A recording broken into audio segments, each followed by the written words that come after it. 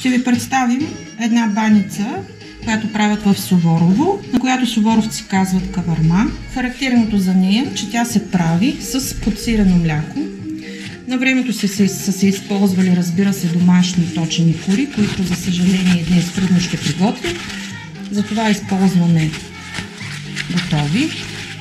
Тъй като са леко твърдички, ги потапяме много набързо в вода, олио и сол. Набираме корите в тавичката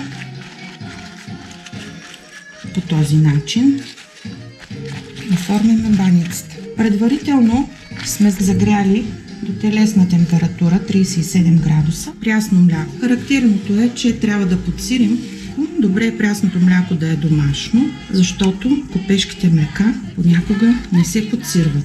С мая за сирене млякото, то да се сгъсти от подсирването и да го използваме като заливка. Тази баница се прави само с едно яйчице.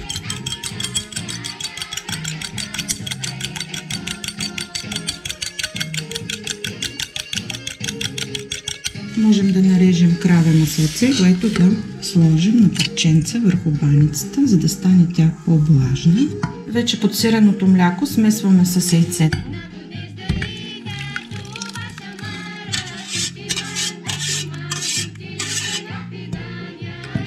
Разбъркваме.